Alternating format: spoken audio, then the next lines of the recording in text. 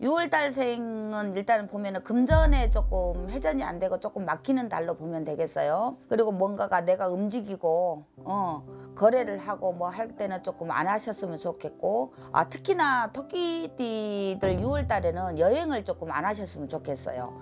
그리고 내가 생각지도 않는 일들이 생길 수도 있으니까 좀 놀라지 마시고 좀 조심하시고요. 토끼띠들을 6월 달에는요. 뭐를 조심하셔야 되냐면은 뭐 나이별로가 없어요 크게. 그냥 내가 뜻하지 않게 내가 답답해요. 토끼띠들이 전체적인 경자년 운세를 보다 봐도 많은 분들을 다 개인별로 봐도 토끼띠 분들이 대체적으로 잘 내가 뜻하지 않게 않는 일들이 많이 벌어질 수 있는 달. 근데 또 6월 달이 그런 달이네요. 제가 응원할게요 뭐 물론 운세로는 이렇게 가지만 또 뜻하지 않는 일이 안 좋을 수도 있고 좋을 수도 있으니까 너무 실망하지 마시고 낙심하지 마시고 사고 조심하시고 건강 챙기시고 토끼띠 화이팅입니다.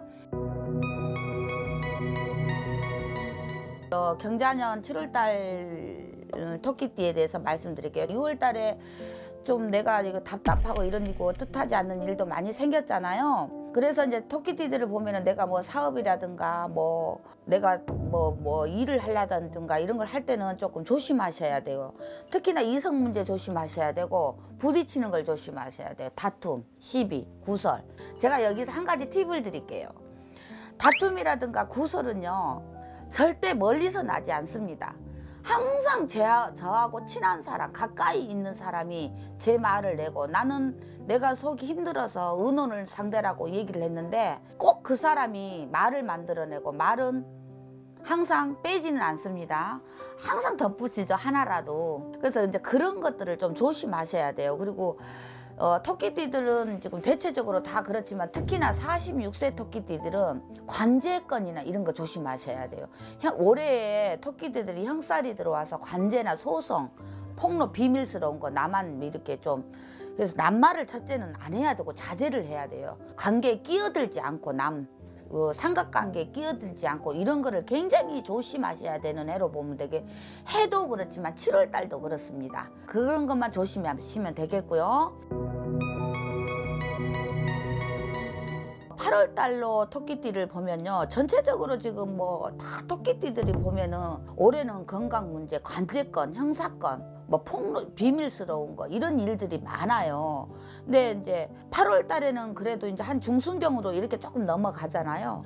그러면 그럴 때는 일들이 조금씩 풀려져 나가요. 34살 정묘생들 같은 경우에는 8월 달에 금전으로 인한 손실이 많아요. 그러면 자기가 그 전에 뭐 카드를 많이 썼다든지 이달 같은 경우는 조금 올해는 어찌됐든 간에 내가 사고 싶은 거 있어도 조금 명품 같은 거 좀 자제하시고요. 가방 그냥 시장 가서 만 원짜리 사서 드시고 티 5천 원짜리 사서 입으시고 좀 절제해라고 좀 보시면 되겠고요.